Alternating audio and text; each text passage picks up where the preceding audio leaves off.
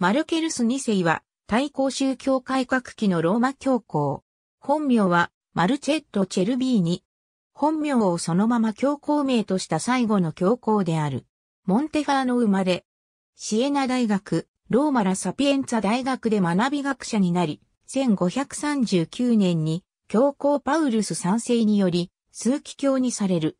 翌1540年に、レッジオエミリア司教、1544年には、クッピオ司教に任命、翌1545年に開会された、トリエント公会議の共同議長にも任命された、レジナルド・ポール。1548年には、バチカン図書館館長に就任した。1555年4月9日に、対抗宗教改革への期待を背負い、教皇ユリウス3世の後継者として教皇に選ばれた。しかし、すでにコンクラーベの疲れで体調を崩しており、強行着座式で健康状態がさらに悪化。選出からわずか21日目にして急逝した。